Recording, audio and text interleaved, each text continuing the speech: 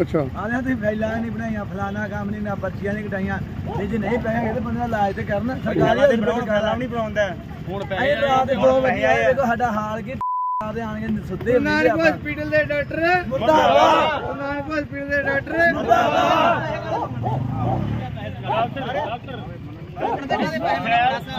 ਖੈਰ ਤਾਂ ਹੀ ਤੈਨੂੰ ਤਿਆਰ ਮੈਂ ਪੈਸੇ ਲਿਆਂਦੇ ਨਾਲ ਜਦੋਂ ਨਹੀਂ ਹੈਗੇ ਪੈਸੇ। ਸਾਰੇ ਰਾਤ ਦੇ 2 ਵਜੇ ਦਾਖਲ ਹੋਏ ਨੇ ਕੀ ਨਾਮ ਕੀ ਇਹਨਾਂ ਦਾ ਇਹਨਾਂ ਦੇ ਇੱਕ ਬੰਦੇ ਦੀ ਸਿਰਫ ਬਣਾਈ ਇਹਨਾਂ ਫਾਈਲ ਕੱਢੀ ਆ ਇੱਕ ਬਿੱਲਾ ਨਾਮ ਦਾ ਇਹ ਵਾਲਾ। ਇਹਦੀ ਗੱਲੇ ਦੀ ਫਾਈਲ ਬਣੀ ਹੈ ਬਾਕੀ ਤਿੰਨਾਂ ਮਰੀਜ਼ਾਂ ਦੀ ਸਾਡੇ ਦੀ ਫਾਈਲ ਨਹੀਂ ਤਿਆਰ ਕਰਨ ਦੇ ਰਾਤ ਦੀ ਬਾਹਰ ਹੀ ਪਏ ਕਿਉਂਕਿ ਇਹਨਾਂ ਨੇ ਦਬਾਅ ਸਰਕਾਰੀ ਦੂਜਾ ਬਲਦੇਵ ਸਿੰਘ ਮਿਆਦੀਆਂ ਦਾ ਦਬਾਅ ਆ ਇਹਨਾਂ ਪੈਸੇ ਲਏ ਨੇ। ਸਾਡੇ ਤਿੰਨਾਂ ਬੰਦਿਆਂ ਨੂੰ ਸਵੇਰ ਦਾ ਬਾਹਰ ਕੱਢਿਆ ਜੇ ਮਤਲਬ ਫਾਈਲ ਨਹੀਂ ਤਿਆਰ ਹੋਈ ਸਾਡੇ ਕੋਲ ਹੁਣ ਪੈਸੇ ਹੁਣ ਫਾਈਲ ਬਣਾ ਦੇਣ ਉਧਰ ਲੜਾਈ ਵੱਟ ਫੱਟ ਹੋਈ ਹੈ ਪੂਰੀ ਜਾਰੀ ਰਾਤ 2 ਵਜੇ ਪੈਸੇ ਕਿੱਥੋਂ ਲਿਆਉਂਦੇ? ਇਹ ਵਿਚਾਰੇ ਏਦਾਂ ਹੀ ਆਏ ਨੇ, ਰਾਤ ਦੀ ਰੋਟੀ ਤੋਂ ਭੁੱਖੇ ਨੇ। ਕਿਹੜਾ ਰਾਤ ਗੋਲੀ ਖਾਏ? ਫੌਜੀ ਕਈ ਡਾਕਟਰ ਸਾਹਿਬ ਲੰਗਰ ਕੋਈ ਸਰਕਾਰ ਕੋਈ ਇਹੋ ਮੰਗ ਕਰਦੀ ਵੀ ਸਾਡੀ ਤੇ ਡਾਕਟਰ ਡਾਕਟਰ ਕੋਈ ਪਤਾ ਨਹੀਂ ਲੱਗਦਾ ਭਈਏ ਜੀ ਰੱਖੇ ਹੋਣਾ।